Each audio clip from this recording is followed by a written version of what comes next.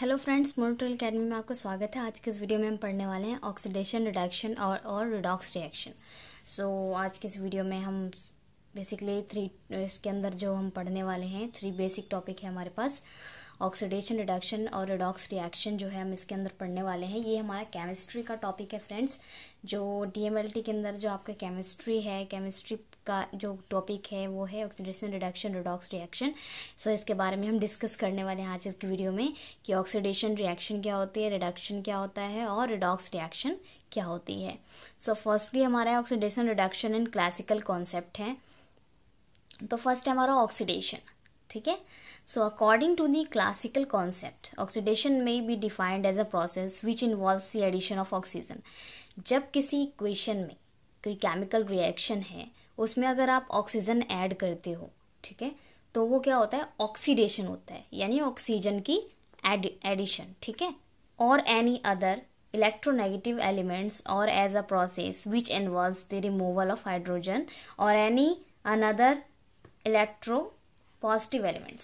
So so, क्या है? यहाँ पर ऑक्सीजन ऐड हो रहा है और जो हाइड्रोजन है वो रिमूव हो रहा है। तो यहाँ पर क्या हो रहा है कि जो नेगेटिव एलिमेंट्स हैं वो ऐड हो रही हैं और जो पॉजिटिव एलिमेंट्स हैं वो रिमूव हो रही हैं ठीक है?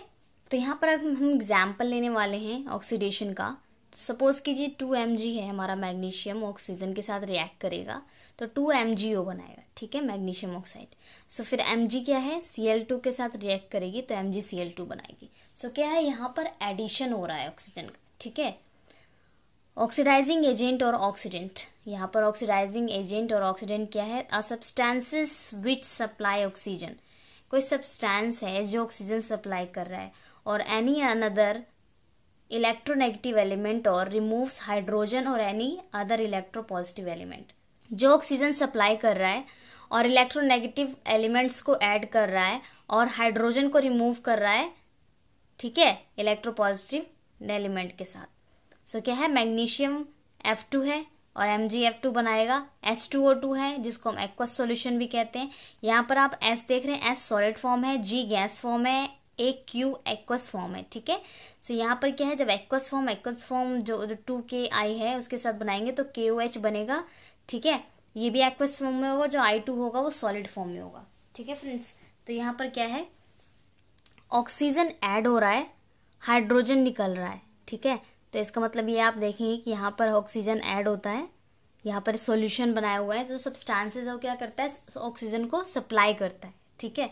अब आता है हमारा reduction reduction may be defined as a process which involve the addition of hydrogen और रिमूवल ऑफ़ ऑक्सीजन रिडक्शन में क्या होगा? ये प्रोसेस क्या है? उल्टा हो जाता है। सीधा ऑक्सीडेशन का अपोजिट है रिडक्शन इसमें क्या होगा कि इसमें एडिशन होती है हाइड्रोजन की और ऑक्सीजन रिमूव होता है। तो अगर हम रिडक्शन का एग्ज़ाम्पल लेते हैं फ्रेंड्स तो इसमें क्या इक्वेशन देख रहे हैं? C U O plus H two तो यहाँ पे क्या हाइड्रोजन ऐड हो गया ओ के साथ. तो जो कॉपर है, वो रह गया प्लस में एच टू ओ वाटर बन गया, ठीक है? सो यहाँ पर क्या है, जो हाइड्रोजन है वो ऐड हो रहा है. ऑक्सीजन रिमूव हो रहा है, ठीक है? So reducing agent and reductant a reducing agent और reductant may be defined as a substances which supply hydrogen और एनी अदर इलेक्ट्रोपॉजिटिव एलिमेंट और रिमूव ऑक्सीजन सो यहाँ पर रिड्यूसिंग क्या है? रिड्यूसिंग एजेंट कौन से हैं? यहाँ पर जो रिड्यूसिंग एजेंट है, वो क्या है? जो इलेक्ट्रोपॉजिटिव है और हाइड्रोजन है, वो क्या कर रहा है? हाइड्रोजन सप्लाई कर रहा है और रिमूव क्या कर रहा है? ऑक्सीजन को रिमूव कर रहा है. एग्ज़ाम्पल में आप ले सकते हैं. सी यू ओ प्लस सी तो सी यू प्लस सी ओ बनेगा. ठीक है? F E two O three plus three part क्या है? थ्री सी ओ है। तो यहाँ पर two F E three C O two बनेगा, ठीक है? कार्बन डाइऑक्साइड तो फ्रेंड्स अब हमारा redox reaction so oxidant is reduce by accepting electrons and reductant of the oxidize by losing electrons so क्या है जो एक्सेप्टिंग इलेक्ट्रॉन्स है? सो ऑक्सीडेंट इज़ क्या करता है? ऑक्सीडेंट क्या करता है? रिड्यूस करता है इलेक्ट्रॉन्स को और रिडक्टिंग दी ऑक्सीडाइज करता है लूजिंग इलेक्ट्रॉन्स को, ठीक है? तो ऑक्सीडेशन नंबर क्या होता है?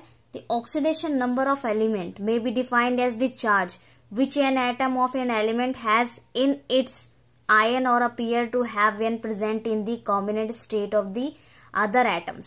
So क्या है यहाँ पर जो ऑक्सीडेशन नंबर होता है फ्रेंड्स वो एलिमेंट के ऊपर जो चार्जेस होते हैं, ठीक है? एटम्स के।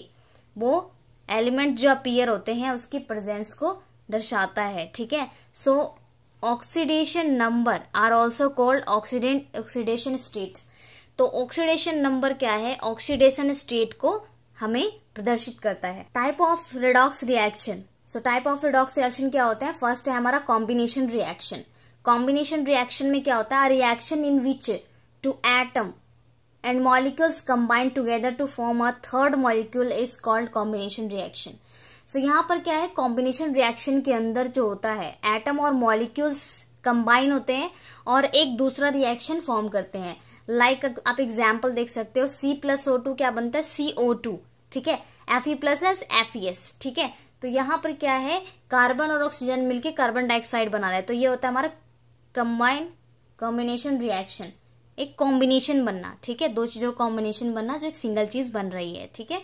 एंड देन सेकेंड है हमारा डीकम्पोजिशन रिएक्शन यानी किसी चीज़ का टूटना। A reaction in which a molecule break down from two और more component is called decomposition reaction तो जो मॉलिक्यूल्स हैं, ठीक है, वो एक या दो पार्ट में डिवाइड होते हैं तो उसको हम डीकम्पोजिशन रिएक्शन बोलते हैं। ठीक है फ्रेंड्स सो इसके एग्ज़ाम्पल देख लेते हैं। So decomposition are reverse of combination reaction combination reaction का जस्ट रिवर्स है ये, ठीक है? सो टू एच टू क्या है? H two plus O two बन गया। एन एच क्या है? N A plus H two तो ये क्या है? डीकम्पोजिशन हो रही है। Displacement reaction is the last reaction friends ये हमारा लास्ट रिएक्शन है displacement reaction so reaction in which an atom और ion is a compound of replace by an atom और ion by some other elements is called displacement reaction तो क्या है यहाँ पर डिस्प्लेसमेंट का मतलब ये है कि किसी चीज़ को रिप्लेस करना ठीक है? डिस्प्लेस करना. लाइक like, मैं एक हेल्दी पर्सन है ठीक है? एक अनहेल्दी पर्सन है. तो वो क्या करेगा वो उसको उसको घुसा मार के वो उसको साइड कर सकता है. ठीक है उसको हटा सकता है। मतलब मैं कहना चाहती हूँ, एक ताकतवर व्यक्ति, एक कमज़ोर व्यक्ति को उसकी जगह से हटाकर उसकी जगह ले सकता है, ठीक है? तो सेम ऐसा ही रिएक्शंस में होता है, जो ज़्यादा ताकतवर होती है, ठीक है एलिमेंट वो क्या करती है, दूसरे एलिमेंट को रिप्लेस कर देती है, ठीक है? और उसकी जगह ले लेती है। सो यहाँ पर आप देखेंगे C four plus Z N क्या कर रहे हैं, ठीक है? कंबाइन होंगे तो क्या होगा यहाँ पर? जेड एन जो है Cu को रिप्लेस करके SO4 के साथ कंबाइन हो जाएगा। क्योंकि ये ज़्यादा रिएक्टिव है इसकी कंपेयर में। ठीक है? तो यहाँ पे क्या बनेगा? Z N S O four plus C U ठीक है? अब कैल्शियम एच टू ओ है। तो क्या करेगा? यहाँ पर कैल्शियम एच टू यहाँ पर एक एच टू निकल जाएगा। यहाँ पे दो एच टू है। ठीक है? यहाँ पर टू आप देख रहे हैं मल्टीप्लाई में टू है, यानी टू टाइम एच टू है यहाँ पर। तो यहाँ पर सी ए ओ एच बनेगा और एच टू बाहर आएगा।